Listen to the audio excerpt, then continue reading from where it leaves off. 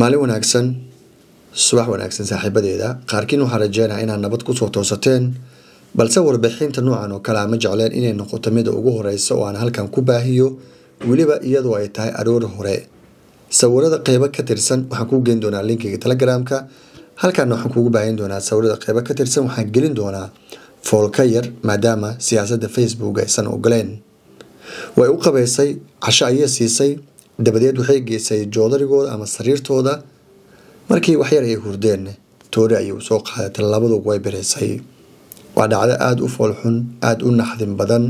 Xalay ka dhacday degmada kaxda wiil yar iyo walaashii oo iyana da'aadka jari karaan labadooduba saddex ilaa afar ilaa shan ilaa lix da'aadka intaas u dhexayso ayay hooyadood intay firaashkooda ugu tagtay dabadeedna qashay way baxsatay ilaa dhanka garas baale iyadoo tooreyda gacanta ku wadata dhiigna uu ka da'ayo.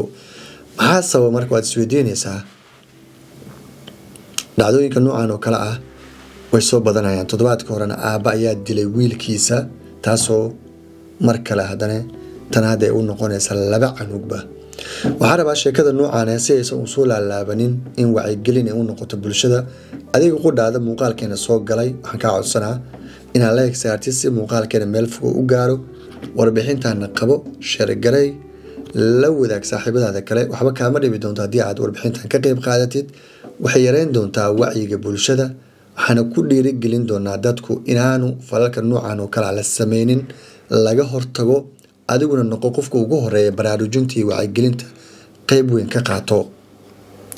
Waxaad isweydiinaysaa hooyadu miya maseersaneed mise maskixiin ayay u waalneed sababtoo ah qof caafimaad qabo ilmaheeda ma qali doonto. Mise waxaad isweydiinaysaa maandooriye miya isticmaashay sida waxyaabaha foosha xun waayahan dambe ku soo badanaya dalka dadka degan deegaanka markaan la sheekaystay qeybo ka tirsan kuwa sawirada ila wadaagay waxay ii sheegeen laba arrinba in aada loo waday. Midda koowaad oo ah in khilaaf qoyska uu jiray carruurta in la iska qaataamo waxyaaba noocaas oo kale iyo in mar kaleba in hooyadu ay hiinaaso amaba maseer uu jiray. Inkastoo labada aada loogu doodayo haddana waxaa soo kale soo gali karta sheekada noocan oo kale ah. Maskixiyan hooyadu ma caafimaad qabtay ayaaba ka horeysa waxaasoo dhan.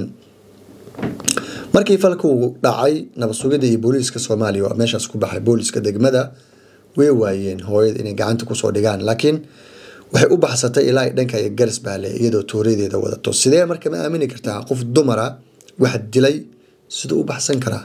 Dabcan qofka ugu horreeya ee dariska markuu arko waa la dabagali karaa waana la qaban karaa.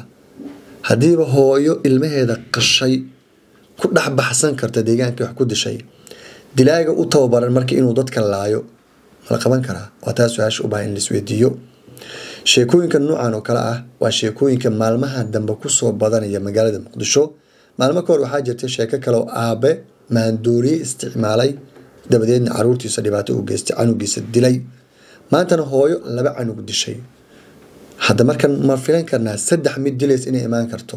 Haddaanan loo ciqaabin waalidiinta noocan oo kale ah falalka noocana geysanayo qaarkood maskixiin ayay u dadkeena. Qaarkood haddana dhibaatada noocan ay ku soo badanaysaa. Aabayaasha qudhooda hooyooyinka carruurta ay ku aaminayaan waa inay aada ugu fiirsadaan.